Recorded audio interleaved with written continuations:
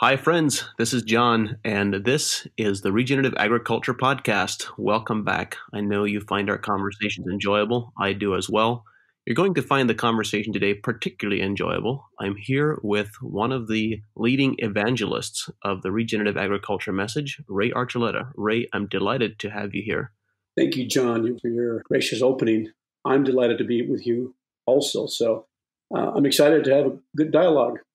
Ray, you've been preaching the message, so to speak, and become quite widely known, particularly in the last few years. For our listeners who aren't familiar with your background and your story, can you tell us about what brought you to this point today and the pathway that has brought you to the work that you're doing right now?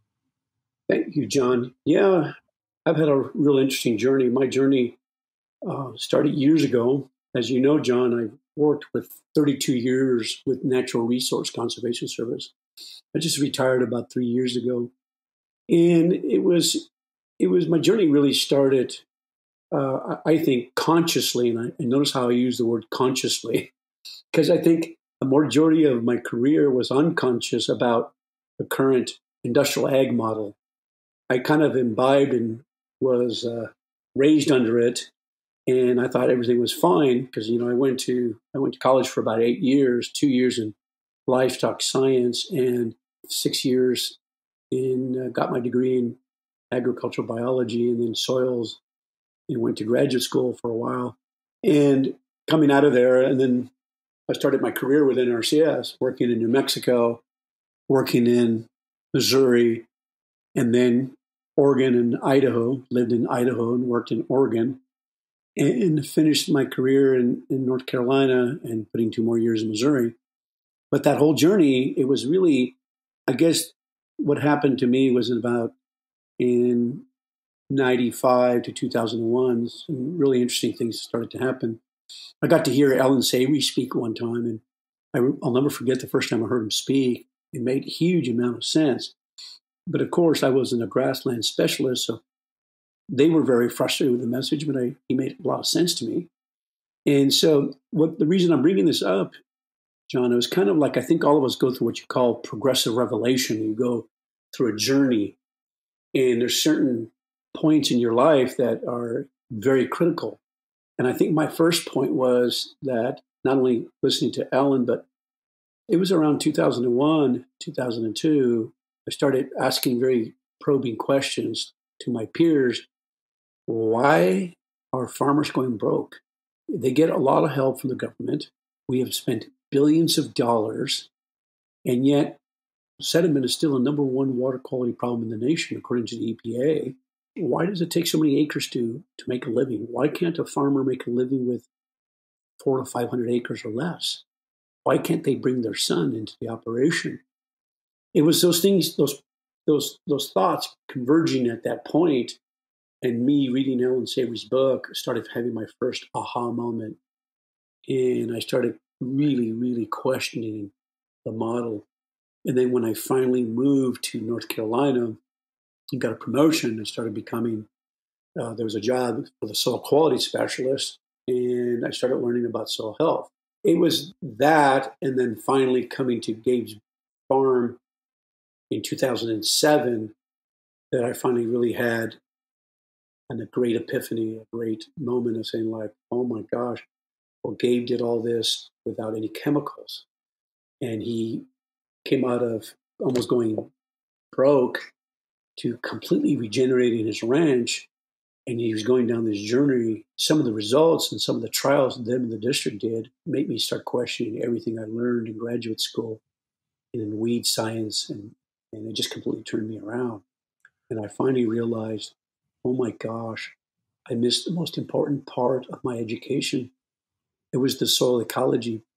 Anything with ecology was not really given me or taught to me in proper context. So I think that's where my journey started. Really, I started questioning why are we still having these problems?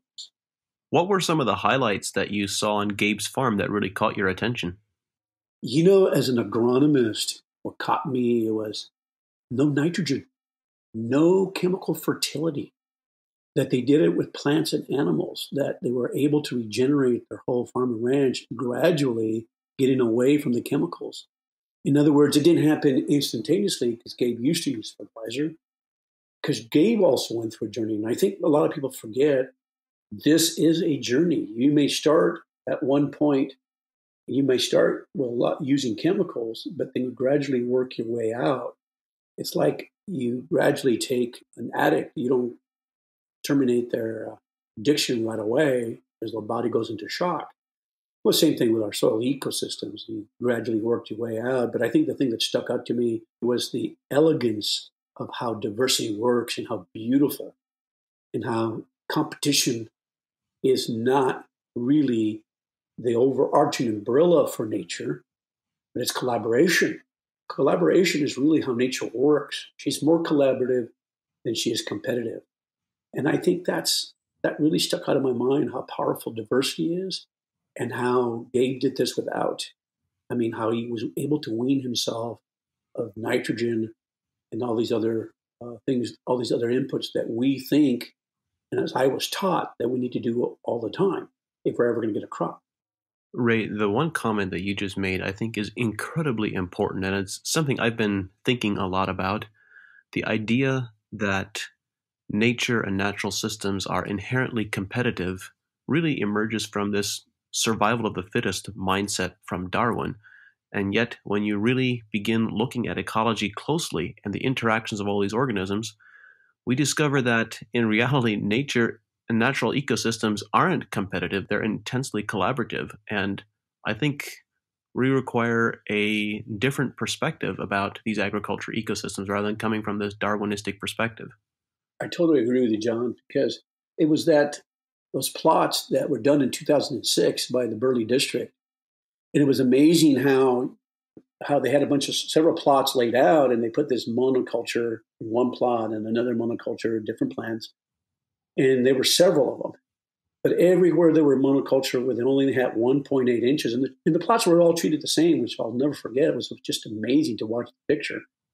Because you, if you look at that context as 1.8 inches, very, very dry, you would expect it to dry up. And it was interesting. Everywhere there was a monoculture, John, it was about desiccated almost in death. But where you threw all the seeds together, six or seven of those seeds together, taken from each of those individual plots, and you threw them to the last plot, it was like amazing. The biomass was four or five times more. And I was like shocked because the biomass under the same amount of rain, the same soils, the same resources, it shows me that nature is absolutely collaborative when it's under incredible stress. Case in point, when even humans under incredible stress, like right now, we're talking about the coronavirus. But if you go back several years ago, where the in Houston, where they had this massive hurricane, and you think that humans are totally competitive against each other, and that does occur. But when under that incredible stress, every race was helping each other. There was collaboration. But to your point, is is, beautiful point that you're bringing out is that I was taught competition. It's all about competition, and so we had to kill everything. And notice how I use the word kill through herbicides, till, and everything just to to lessen the competition. And it doesn't mean that you and I are saying there isn't competition. Competition does exist in ecosystems, but it's nestled. It's, it's competition is needed for building integrity and bringing health. But the overall principle of nature, she's collaborative. She's collaborative more than she's competitive. And so you're right, John. Thinking of prior conversations we've had and in the context of the comments that you just made, at one point in a conversation, you mentioned that competition versus collaboration occurs differently in stressed environments versus non-stressed environments. Can you expand on that a little bit? Sure. There's a great study done by uh, uh, it's called the stress gradient hypothesis. It was done by Dr. It was done in Brown University, done by Dr. Bertness. He was talking about how he did a meta-analysis uh, globally, and he looked at all the meta-analysis means that he looked at all the research, and he found out like in reality is nature is more collaborative than she's competitive. When it's under very stressful situations it'll it'll it'll share resources not compete. And most of us have seen it on the walking in the fields and you've seen it too john. You can see if you have too many weeds that competition does occur, that they all share up the same resources and they run out of resources. But we're finding out now with new science and new technology that Arbuscular mycorrhizae fungi, they share water resources to each other. They can transport, organisms can transport uh, water, DNA material, energy, nutrients from organism to organism in this incredible underground network called Arbuscular mycorrhizae fungi. And there's hundreds to thousands of species of that, that particular fungi. And also, I've heard Dr. Kris Nichols also mention that even under stress, that microbes will be able to give water to the plant. So we're finding out there's much more collaborative activities going on than there is competition. And so that's why we're talking about how nature is incredibly collaborative through diversity. And I think that's a very key thing. So the more diverse an ecosystem, the more of these functions you're going to have occurring. And through diversity, I call it uh, through diversity, you get more redundancy of activities. And um, let me give you an example of that. When people were engineering airplanes, they wanted redundancy. And redundancy means they wanted uh, safety systems that were redundant. So, in other words, if one system went down, the other system picked it up. So that's why we have such little failures with airplanes because of redundancy. Well, nature's the same way. There's many organisms can do redundancies of function. And so the more diverse the organisms you have, and the more plants or bacteria or the diversity of species that can carry same particular functions, you have redundancy. And when you have redundancy, you have resilience in an ecosystem. So that's part of that, why uh, it's exciting to see when systems are incredibly stressed, there are other safety mechanisms through redundancy. You know, what occurred to me when you were describing collaboration versus competition and that organisms become more collaborative in a stressed environment, what occurred to me was the interactions that we observe with farmers and growers who have started the regenerative agriculture journey versus those who may not yet have.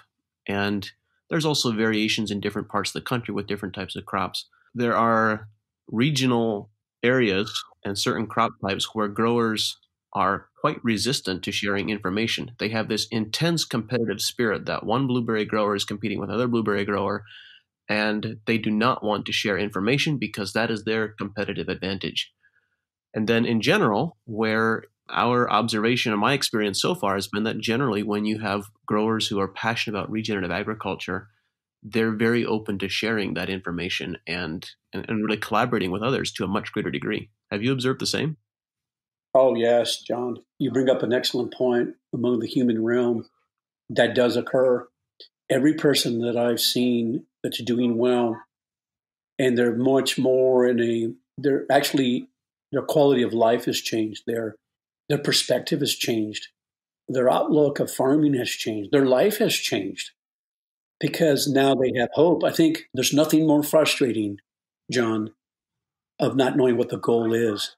I remember when I had a small 11 acre farm in Idaho, and I used to look at farming as I started looking at farming as a drudgery. I would come from work full time, working for the government, then I'd come and do my farming on, part time. And it was getting to a point because I didn't know what I was doing and didn't understand how the system worked. I started to look at the farm as a drudgery as a chore. It wasn't fun. I didn't understand what the goal was. And then that affects your attitude and affects your attitude towards your, your family, towards your neighbor, towards your fellow peers, to other farmers.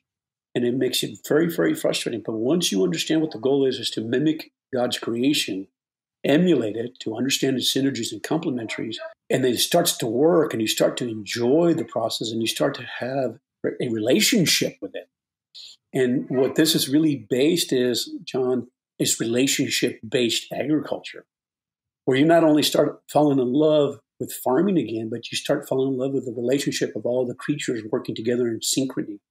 And that you're the central part and you work and you're also facilitating in that relationship. And then you're part of that relationship. It affects your outcome, it affects your attitude, And it, it, and you can see it because those who practice this type of agriculture are very giving of their knowledge, of their time, and there's a joy to it because they're having fun. John, I can't tell you how many times farmers have told me, Ray, I love farming now. Their attitude completely changes. Um, I'm glad you brought that up. Ray, you've been evangelizing this message of regenerative agriculture a lot over the last, particularly over the last few years, but for more than the last decade overall. When you consider all of these relationships and the conversation we've just been having about falling in love with the beauty and the, the relationships, the interactions, building those relationships with the living organisms, with your family, and so forth, one of the questions that I often think about is what is it that limits us as people from adopting the things that we obviously know are better for us? And I'm, I'm asking this question from the perspective of a grower. I, I was a grower, uh, still am on a much smaller scale. And in our consulting work and the conversations that I have with growers, I very often find that there are obvious things that people know that they know they could improve and do differently and perhaps do better but they chose not to. And so I'd love to hear from you and your perspective. What are some of the limitations that hold people back from making the changes? John, I've been doing this for quite a bit of years. I've been in every state two or three times, from Puerto Rico to Hawaii to Alaska. I've traveled many, many millions of miles. And I finally come to the conclusion unless the mind and the heart changes, the land will not change. Your field will not change. Gabe Brown and I had the saying, we change the field one heart, one mind at a time. It's really the understanding. Because I see a lot of times people get excited about cover crops or they get excited about a particular tool. Maybe they'll go to no till. But it never was about no till. It was never about organic. It was never about cover crops, about tools or process or labeling or name. It was about understanding. Do you understand the relationship? Do you understand what you're dealing with? Do you understand that you're dealing with a living, dynamic ecosystem that reacts to you? That the soil is alive. You'd be shocked, John, how many people have come across that didn't realize that that soil is a living creature. It's dynamic. It respires, it breathes, it reacts, it it it bleeds, it takes in water, it's alive. And I, I think a lot of people don't realize that the power of life and how you have to harness it and you have to understand it. And those are the biggest limitations I've seen dealing with people is that their lack of understanding. And when you have a lack of understanding, you don't have the commitment and you don't have the mindset to ferociously learn to be absolutely committed to not give up, to work and accept failures as you because farming on a daily basis you lose animals or plants die. And one doesn't understand that that that's part of that natural system. And until you wrap your mind in that producers are not going to spend the energy the money and the commitment to be a student. I think that's where the biggest problem is and I think uh, one of our biggest failures, from my perspective, when we first started the soil health movement, we had five principles, four to five principles. But we added one just recently. And that's the first and most important principles of soil health is understand your context. And understand context means you have to understand the economic context of the human being, the cultural, the social, and the spiritual context. And we tend to separate that out. And that's horrible because we need to understand it's the way the human perceives their environment is how they work in that environment and how they treat their environment. And the way we react to it is like saying two headed coin. The environment responds to us and how conscious we are about it. And I think we need to understand that. When we think about context and understanding the context of where the grower is, where we are coming from as growers, you described that people don't have a desire to learn. And I wondered how often that lack of desire comes from a combination of two places uh, or two significant contributing factors. One being not really understanding the implications and the opportunities for what regenerative agriculture agronomy really can contribute and what it can mean. And the second coming from a place of perceived economic difficulty or hardship. We started this conversation when in your introduction you were describing how you asked the question, why are farmers growing broke?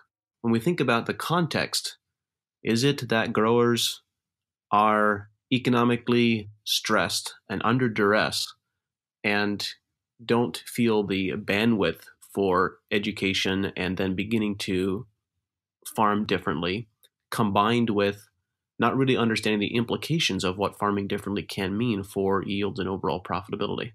I think you've seen when people have dealt with that when any creature that's caged in and you're trying to do it, show it some kindness. Uh, like if you've ever been around an, an animal like a dog or anything, you, and it's been caged and it's been beaten and it's been mistreated for years, and then you're trying to handle it, it'll bite you.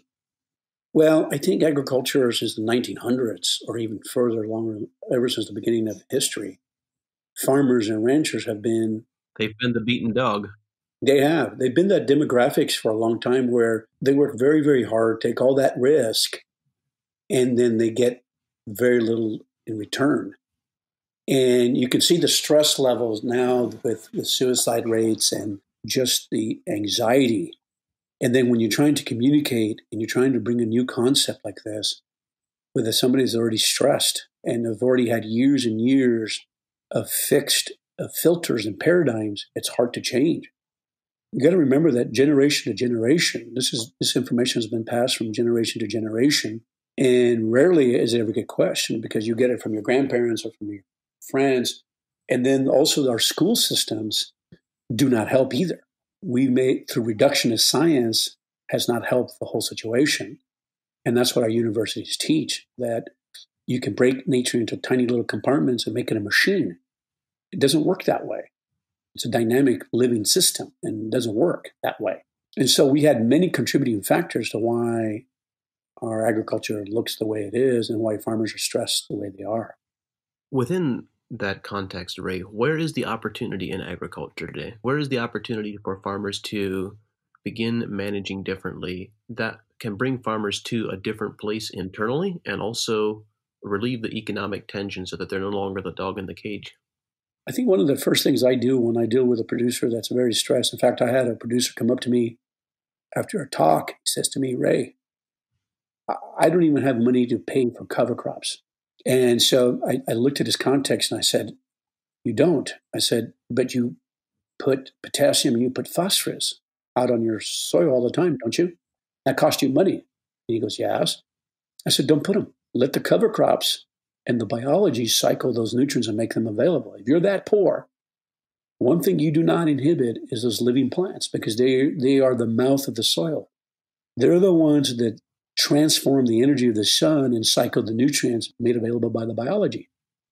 So I said, you get rid of those and do the, do the covers. My point is, there's very low hanging fruit. And one of the first things I can do very quickly when I work with a producer is back him off on the nutrients. And they're putting way, way too much nutrients. And now we have a new soil test. We use the, the Haney test to help us use that as kind of as an indicator. And that's only one indicator. But we do infiltration. We, do, look at the aggregates. We use we pull out the shovel. We do many, many, uh, use many, many indicators and walk the field with the producer and, and, help him back off. One of the key things that we can do is help our producers right off the top of the bat is back him off on nutrients that is a great way to start and release some stress because I think producers think that they have to keep putting nutrients in the soil.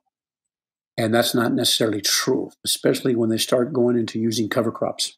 I get really excited by conversations I have with growers who sit down and closely evaluate what they are doing and why they're doing what they're doing and come up with novel solutions for farming differently that turned out to be immensely profitable. And there's this one story that I've been thinking about quite a bit. Uh, came up in several conversations the last few weeks about a young dairy farmer. So today, you mentioned the suicide rates that are present in U.S. agriculture, and not just in the U.S., but around the world, particularly in the U.S., though. And one of the more intensely struggling sectors of agriculture for the last few years has been dairy farming. In the middle of this dairy economic crisis, there's a young farmer in central Pennsylvania that I've known for several years. He started out when he was 23 years old with his savings. He did not inherit a farm. He is at this moment, he's now 30 years old, seven years later. He's paying for his third farm and with no off farm income, milking 70 cows and producing more than 200,000 a year in income for the last several years. Obviously, to have that level of economic success, you have to do many things well. But the foundation of that success is that he is 100% grass fed. He's not selling grass fed milk, it's going into the bulk tank. He is organically certified, so he's getting an organic premium. So it's organic, 100% grass fed. And his message that he shares with other farmers over and over again is you can't afford to grow corn. You can't afford to grow and feed and harvest and store corn. It costs too much. His cost of production is less than $5 a hundredweight, where the current mainstream cost of production is $13 plus. I get really excited by stories like that, and I'm using him as an example. He's one unique example, but there are many examples of farmers who are growing very similar crops other people are growing, but they take a completely different approach. And as a result, they have completely different economic outcomes. And what you're describing by eliminating fertilizer inputs is along the same lines, foundational to that. Yes, John. Most people don't realize that one of the most energy intensive things we do in agriculture is apply nutrients. It takes copious amounts of energy to make chemical nitrogen. And if people knew that, and that's why it's so expensive, it's very energy consuming. And I agree with you, John. I, I just I marveled why not let the cow do all the work, cow on the grass. Yeah. And it's amazing how much how much energy people put into growing a crop. And a lot of it's not necessary. Ray, as we are on this journey and pathway, we develop different perspectives and different ideas. And this is a question I really like getting people's perspective on. What is something that you believe to be true about mainstream agriculture that is many others don't believe to be true? That's completely different from the mainstream perspective.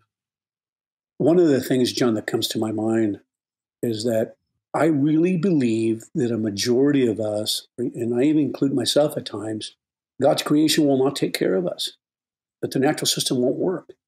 It's called, you know, having faith in the system that it actually works. I think that we are absolute control freaks. We want to control every aspect. And we think that we will control every molecule of nitrogen that's going to go to that plant. We want to control the nutrient cycle. We want to control the pest cycle. And we're horrible at it. And I think, I think we think as humans that we can do that. And, and it's, it's ridiculous. And we can't. And we're not good at it. And we're suffering for it. So I think one of the biggest thing is that farming takes a lot of faith and believing in the system and, and trusting that the natural system actually works for us. It, it collaborates for us. It's designed for us. That's what I think that if you go back into history, we either have this thought that nature's out there to get you, or we have the concept in the early 60s and 70s of Bambi theology, I mean, ecology, where man is bad and all the creatures are good and, and we're not part of the ecosystem. That's ridiculous. I don't believe that we have that we actually believe that the system works for us. I see that very evident in all of us. That's powerful, Ray, because if we don't believe that the system works for us, then the implications of that are that we do need to control it and we need to kill everything that is antagonistic to us. I've heard many people, and I myself have pointed to the warfare mentality that consumes much of mainstream production agriculture that we need to search and destroy, identify what is causing problems, and then figure out a way to kill it. But what you're identifying is actually the, the foundational ethos that is behind that of uh, not believing that the system works. I really enjoy studying the science behind agronomy and plant physiology.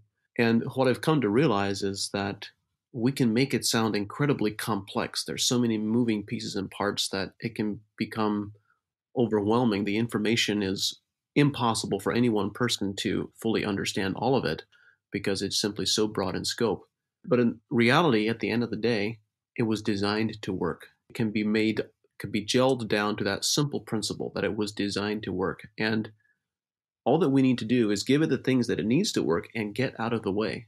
That's the concept that is sometimes hard for us as humans to do is getting out of the way. Our goal is to emulate the creation, emulate nature, emulate its structure, its architecture, its function, and understand that's the goal. The template's already been there for for a long time. But we thought we knew better and that we could make it more efficient like a machine. I'll never forget it's yield, yield, yield. That's what I was taught in, in agronomy school. And kill, kill, kill. I got to kill all them weeds because my goal at the end is I got to have yield.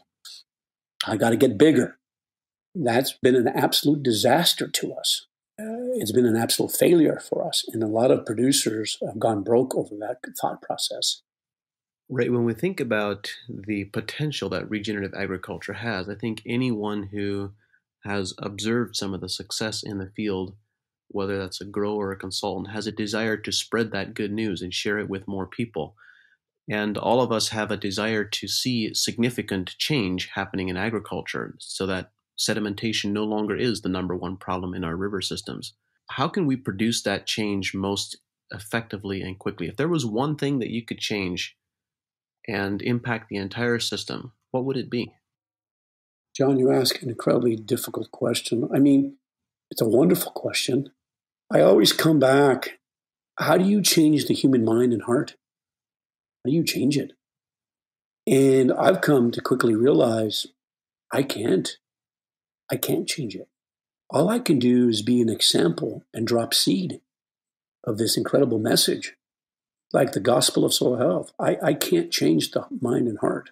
If we want permanent change, and I seek for permanent change, that a change that we will teach our children and our children's children, and it'll go from generation to generation, and that we're no longer dealing with symptoms, but we're getting to the root cause.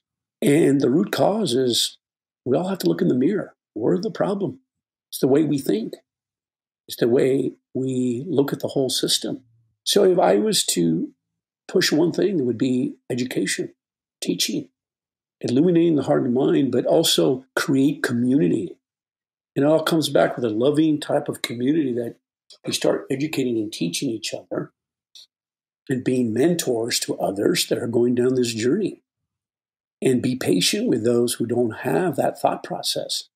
It all comes back to us as to building those soil health communities to be catalysts of change. And that change starts with us individually. When you think about changing hearts and minds and education, what is something that you wish all farmers knew and understood? What are the really important pieces that are often not considered? Well, nobody really likes to talk about this, John. It's really the spiritual aspect of farming. It makes people uncomfortable. It makes, even when I started bringing the word and mentioning God into the whole context, people got uncomfortable. But, you know, like I was in one of my slides, I had in Job 12, biomimicry, which is, I'm a big, huge fan of biomimicry, mimic life. There's a whole verse there. Mimic the birds, the trees. The template's been there for a long time.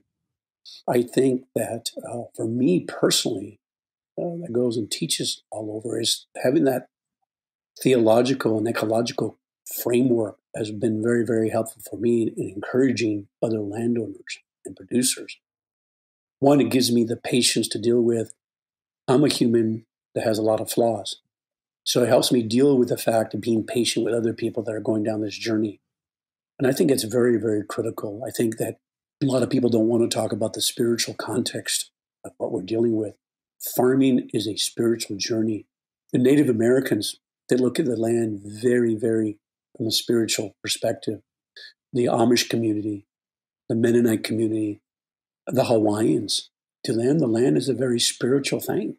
there's a spiritual connectedness. And, and I think that we need to understand that and remember that. I would suggest not only do we need to understand and remember it, but we actually need to live it. We need to experience it for ourselves and live it. And I know that for myself personally, this is a very important part of who I am and what has brought me to the space where I am today is, a spiritual connection to a creation and being out in the fields and feeling that connection, actually being connected to plants, being connected to the field, and in one sense, having heart communication to what is happening and what is going on. And I've observed this over and over that there are, and many times, producers who are the very best at what they do almost universally have this deep connection. They will walk out into a block or walk out into a field and they'll say something like, Something doesn't feel right with this block. They can't quantify it, it's not logical. It's this intuitive, spiritual heart connection that they know something isn't right. This has become accepted as being common and normal when we talk about livestock producers. Many livestock producers will be able to say, the better ones at least, will be able to say, something isn't right with this cow. They know it, even though they can't point to something observable that they know why. It's just an intuitive gut hunch.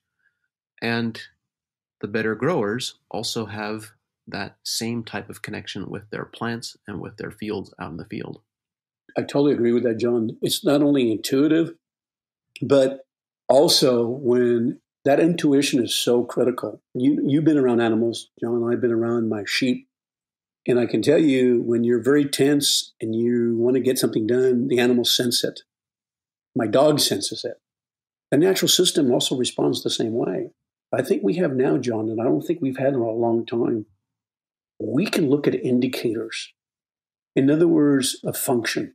In other words, I can pull out my shovel through the powers of observation and the intuition you just talked about, and having the right framework and the right approach, you can start looking at your soil and say, oh, this soil is not very well aggregated comparing to this forested area.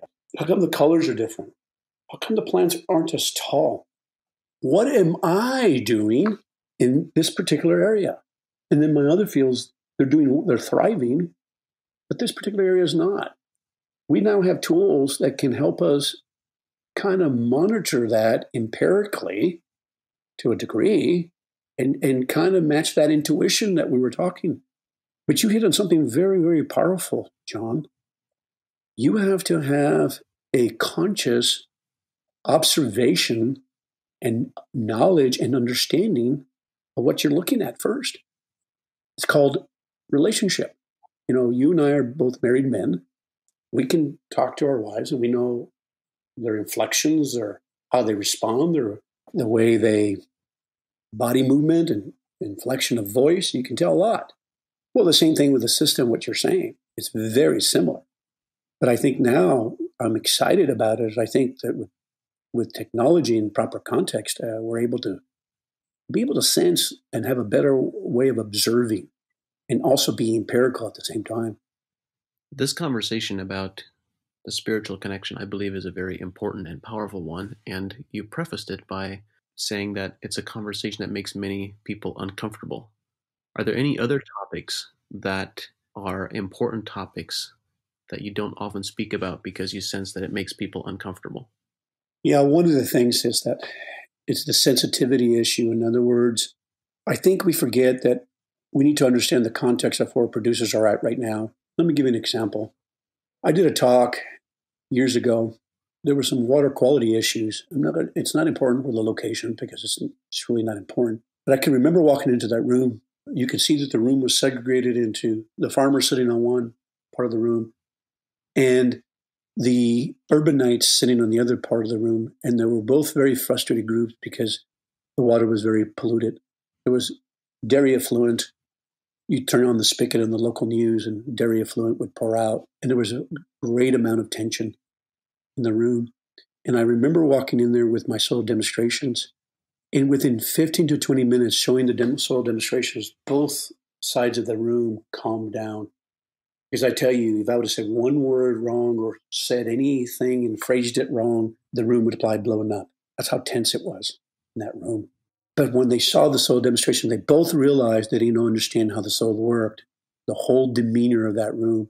And at the end of my talk, somebody yelled, But it's the farmer's fault. And I said, No, it's not. It's all of our fault collectively as a society. I remember NRCS, extension. A lot of us in the scientific community said we got to get bigger, bigger, bigger. Remember the 70s. You're going to, in fact, uh, Sonny Perdue made that similar comment months ago in Wisconsin. Get out. Uh, if you're not going to get big, get out, which was a ridiculous statement. But my whole point was that we created that context. We're the ones that created that environment. And I said, so I told the group, it's not the farmer's fault. We as a society wanted cheap food. We pushed him down this direction. All of us went down this direction unknowingly. Why am I bringing this up? Because what my point is that we need to be very sensitive and very cognizant of where the condition of the producer is, and, the, and it becomes very, very sensitive. Some of the people that were trying to work towards a regenerative direction may have CAFOs, large animal confining operations. One of the ones, like a dairy guy, a particular buddy of mine from Pennsylvania, won uh, the Environmental Dairy of the Year and he's got a large dairy. But he's doing no till and covers. He's doing a lot of things right.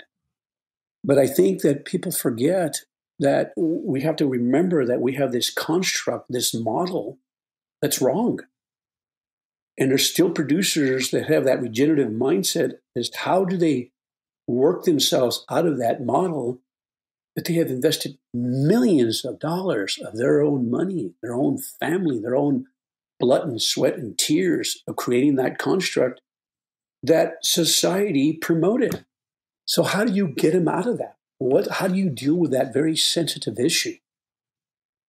And I think that we need to remember that as we work for the new model, that we have to remember that a majority of us came from that model and we have to deal with the producers in, in love and consideration and baby steps and how, as a society, we're going to get ourselves away from those models without losing the family farm. Because a lot of some of these family farms do have CAFOs.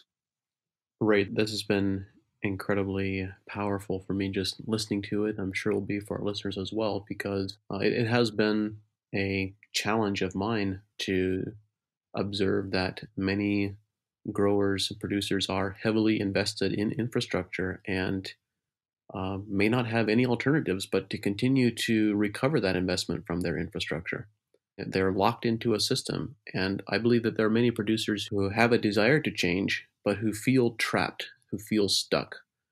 And they're not clear on what the first steps are and how to get to the promised land to where they want to go from where they are today.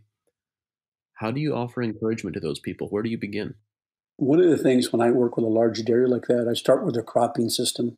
That one is an easier way how to back off the nutrients, how to do better nutrient management, going to more covers, disturbing the soil, doing less tillage. Those are easier ways to start, especially when somebody has an incredibly huge infrastructure.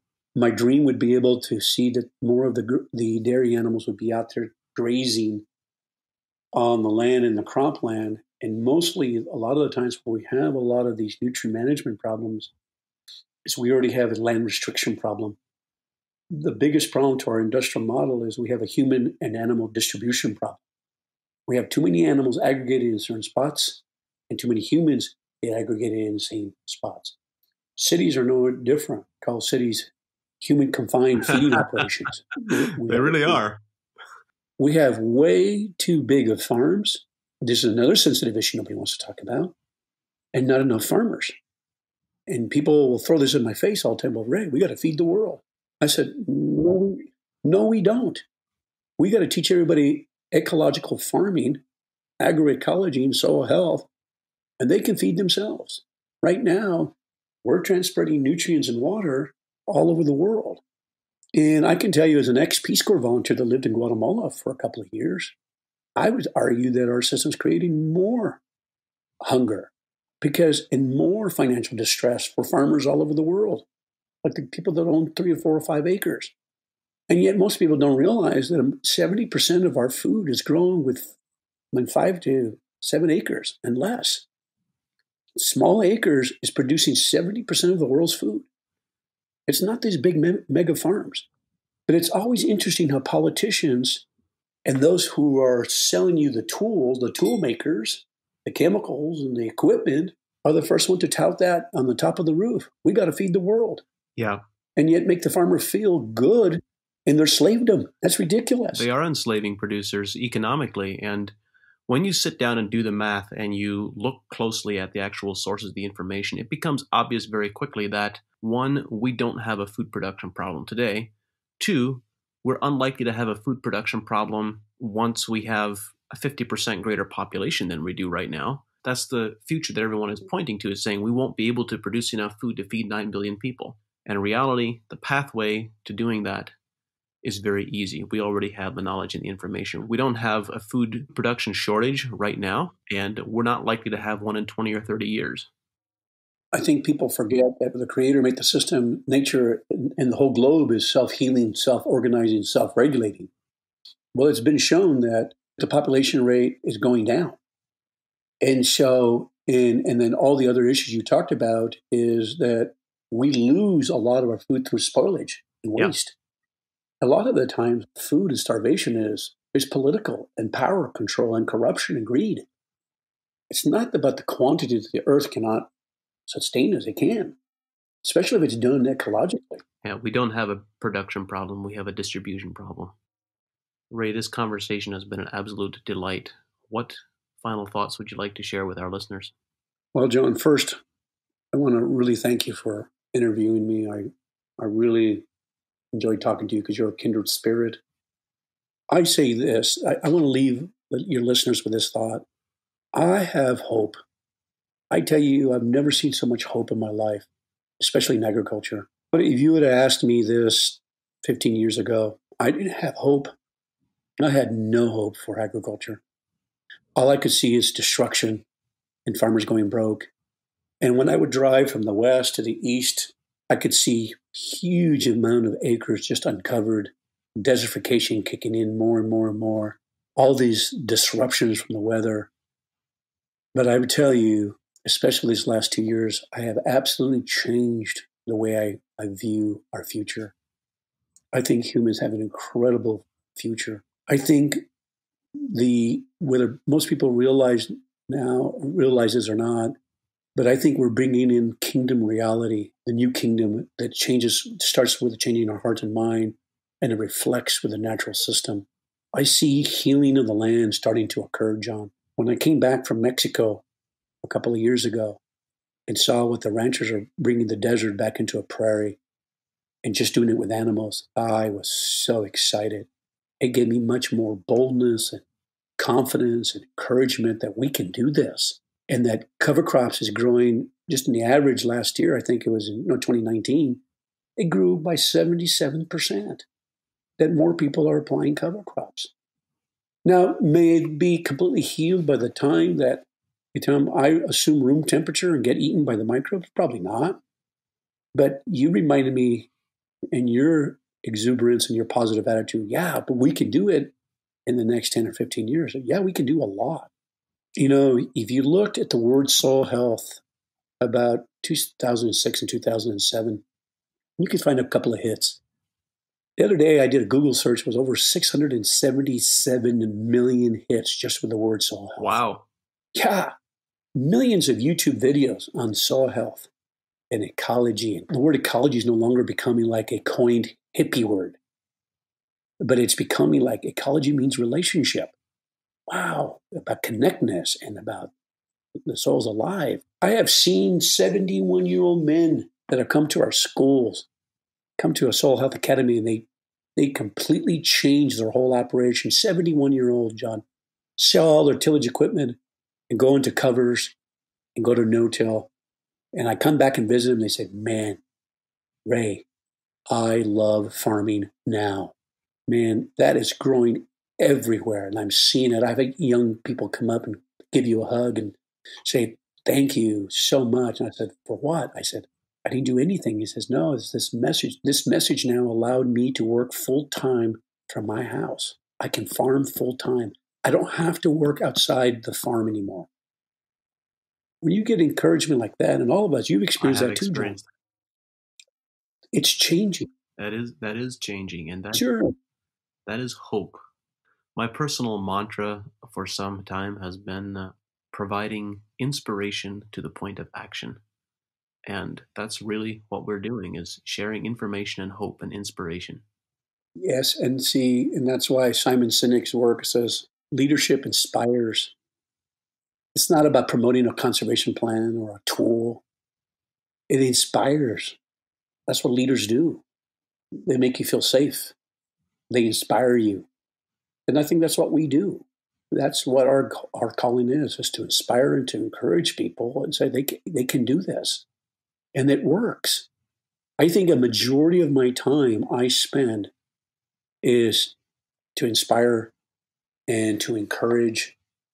And I think that's what I do most of the time. And you'd be surprised. I, I know Gabe does, and Dr. Allen Williams, and Shane you, and all of us, you yourself. I know you do that often. And it's not just us, there's a huge collective that are doing this. And that I think of my friends and some of our employees in NRCS that are nestled in NRCS and they still have to deal with the, the bureaucracy, but they also see it. So there's this movement that some of our government has changed too.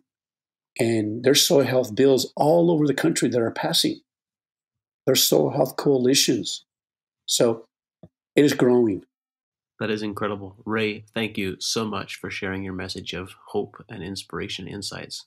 We're all very grateful. Thank you, John, for having me today, and I appreciate you. And thank you for your work and what you do. The team at AEA and I are dedicated to bringing this show to you because we believe that knowledge and information is the foundation of successful regenerative systems. At AEA, we believe that growing better quality food and making more money from your crops is possible.